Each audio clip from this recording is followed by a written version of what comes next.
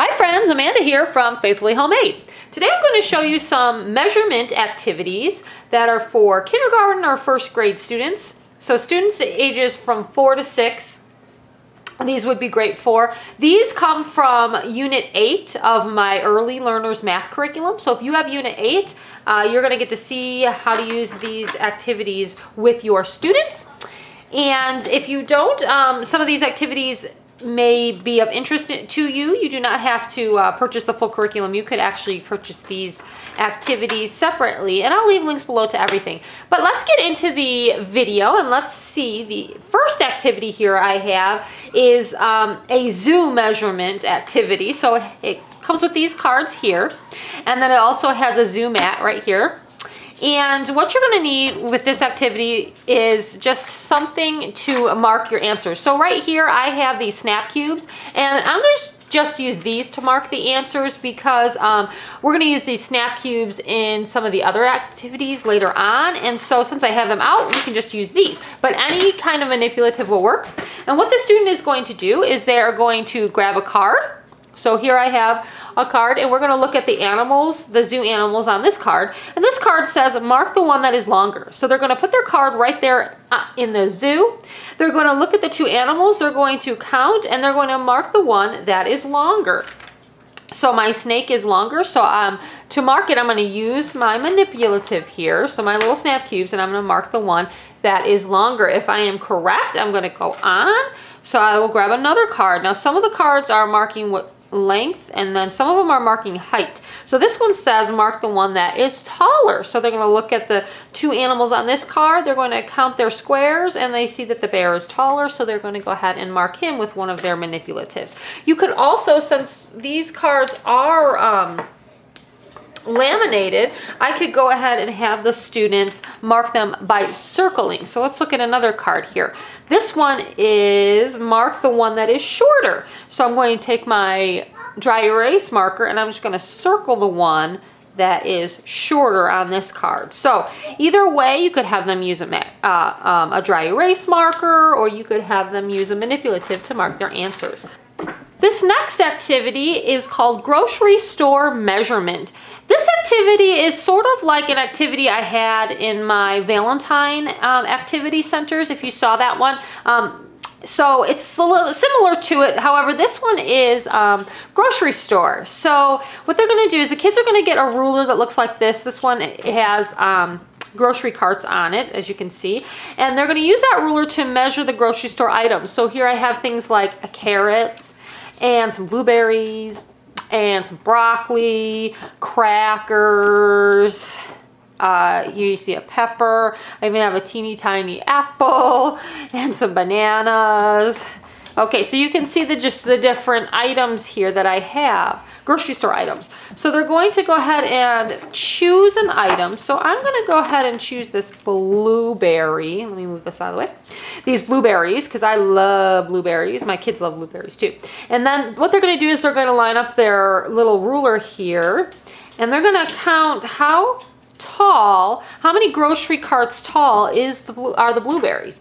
So we're gonna count one, two, three, four, five. Remember to tell the students that they need to line up their um, measurement tool to with the bottom of their object because obviously if they're trying to measure like this it's not going to work so that's one of the biggest uh, things that kids mess up or, or, when they're measuring is that they do not line up their tool properly and make sure it's flush with the bottom so anyways um, Let's see, so one, two, three, four, five, that one was five. So then what they're going to do is they're going to look at their mat. Now I have laminated this mat. You could also just put the mat into a um, plastic sleeve and it will work just as well as far as dry erase goes if you want this activity to last. Um, if you just want to do it one time, then you don't even have to laminate it. And also, all of these activities come in black and white. So if you don't have a color printer, you could still always print them in black and white, and that's no big deal. Okay, so anyways, mine is laminated. So I'm going to take an, an expo marker. And again, I, when after I counted this, two, three, four, five. I couldn't remember what I had said. Okay, I counted it, it was five. So then I'm gonna find the blueberries on my mat. They're right here. And then on, um, if you can see on the mat, there are little grocery bags. On the grocery bags, that grocery bag that is by the blueberries, I'm gonna write a five. with my dry erase marker. And then I can go again and I can pick a different uh, item. So here are my, is my carrot. My carrot is three, so then I'm gonna go ahead and write a three next to the carrots and so on. So that is how this activity works. They're gonna continue on until they have written the measurements for all of the items at the grocery store. This next activity is a sorting activity with flowers. So there are different sets of flowers and what you need to do is give the kiddos one set. So all the flowers need to look the same in the set. Here are three sets here and I have just a whole slew of them. It comes with um, three, four, five, six, seven, like eight or nine sets of flowers. So I'm just going to take one set for now. And what the kids are going to do is they just have to sort them from smallest to biggest. So they could do that just like this on a table. Um, obviously, you want to have them mixed up, and then they're going to sort them from sh um, shortest, excuse me, to tallest. So actually, this one goes here. Okay, so from shortest to tallest. You could do it on a table. They can also do it on a pocket chart. So here I have just a pocket chart. You could have them stand up at the board with a pocket chart and sort them into their pocket chart from shortest to tallest. So here I have my set of flowers from shortest to tallest and you're going to do the same thing with all the different sets of flowers. So here I have another set. Obviously they would sort these ones from shortest to tallest. This activity is called find and measure. So you're going to have these different cards here and the child is going to take a card and it's going to tell them what to find. So this card says find a glue stick and measure it. And they have to measure with snap cubes on this activity. So here are my snap cubes and uh, I'm going to find a glue stick. So here's my glue stick and I'm going to go ahead and measure it with some snap cubes here.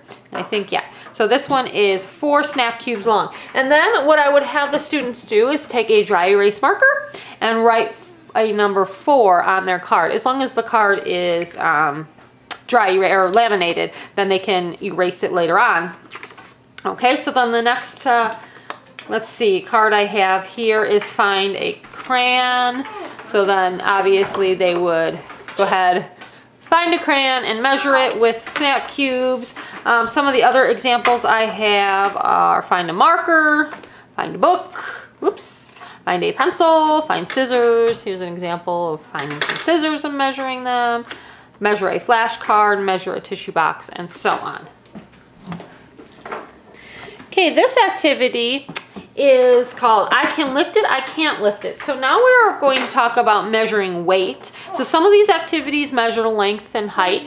Um, so some of them are linear measurements and then some of them are weight measurements. So this one is a weight measurement and uh, activity. And so they're going to spin the spinner and let's see what it lands on. It is going to land on, I can't lift it. So they're gonna look on their mat and they're going to cover up an object that they cannot lift. I cannot lift a school bus, so I'm going to use any kind of manipulative I have to cover up my um, school bus. Oh, by the way, I forgot to show you. When um, I was showing you the zoo activity uh, center, instead of using these snap cubes, I meant to show you uh, how to use these little, I have um, these little toy animals and I thought that they would be a lot of fun to use with that activity when you're covering up on the zoo activity. So if you have little, um, these little animals are puppets, but if you have any kind of little toy that are little animals, those would be a really fun um, idea to use to uh, for, for the zoo activity for them marking their answers. So I meant to show you that, but I didn't. Okay, anyways, so um, okay, I covered that one up. So then they're just gonna keep on spinning until they've covered everything on their mat. So now it landed on I can lift it. So I'm gonna take a manipulative and I'm gonna cover up something on my mat that I can lift. I can lift a pencil, so I'm gonna cover that up. And they're just gonna keep on going. And that way they are uh, using their um, thinking skills to figure out if something is heavy or if something is light.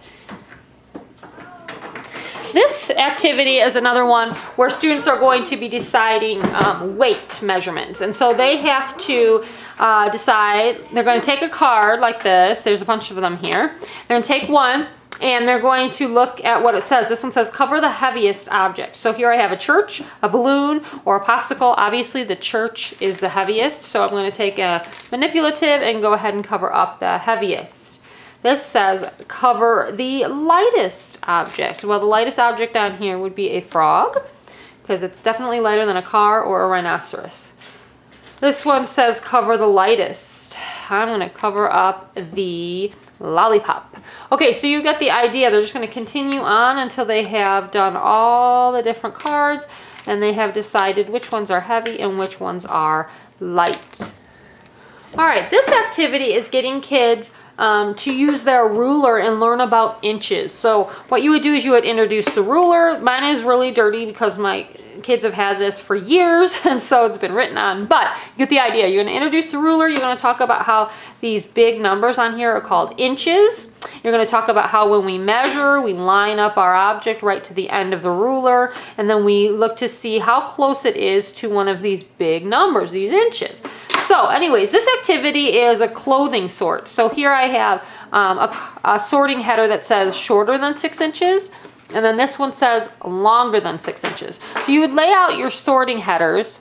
And then um, what you would do is the kids, there's a, there's a whole bunch of cards that look like this where the kids are gonna measure. They're either gonna measure the height or the width of these um, clothing objects. And then they have to put them under the correct uh, header, so the, the correct line of clothing.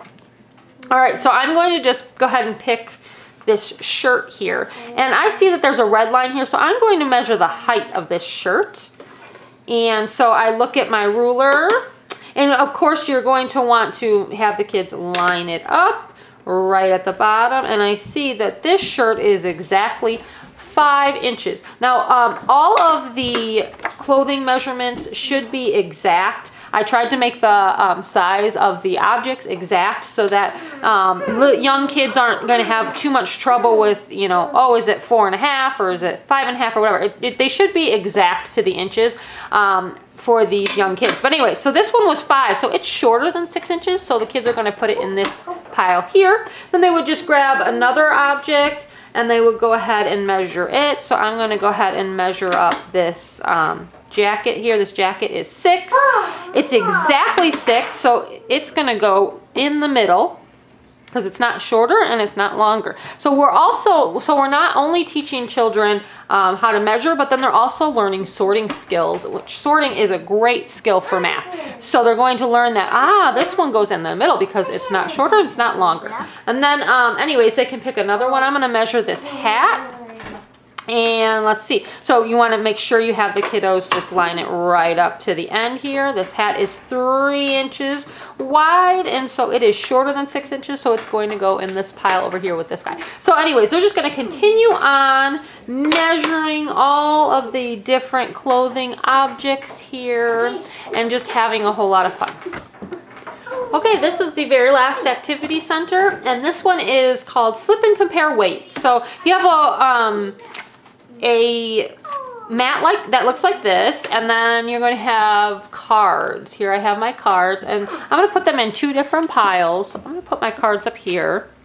And you want just want the cards mixed up. And then what you're going to have the kids do is they're going to flip over two cards. So I'm going to flip over one and I'm going to flip over this one. And then they're going to compare and they're going to look at them and they're going to put the heavier object on the scale here and they're going to put the lighter object on the scale here. And then they're going to flip over again and again, I'm gonna put my heavier object here and my lighter object here. And you can talk about scales, how um, the lighter object will go up as the weight of the heavier object would bring the scale down. If you have a, a real scale uh, in your classroom or in your home, wherever you're working, uh, you can obviously use that to show the children um, how it will go up or it will go down based on if they're heavier or lighter. Now, if, um, I'm gonna flip over two more here. Here I have heavier, object, and lighter object. If by chance they flip over two cards, let's say I flip over these two cards, and they're both very light objects, and so neither one will go on, I would just put those two off to the side and have them flip again. This one I have a desk, and I have glasses, so obviously desk is heavier, glasses is lighter. So um, that is it, guys. That's the last activity center. If you have questions or comments, uh, leave them below. I'm going to leave links to these activities below as well. These, uh, like I said, are from Unit 8 of my Early Learners Math curriculum. You can um, get these uh, activity centers separately or you can get them in the entire curriculum bundle. And I have had some great feedback from my curriculum. I am almost finished with it. I just have um, like two units to go I believe and I will be finished. And then I am going to be rolling out some phonics curriculum and it's going to be a lot of fun. So thanks guys for watching and we'll see you next time. Bye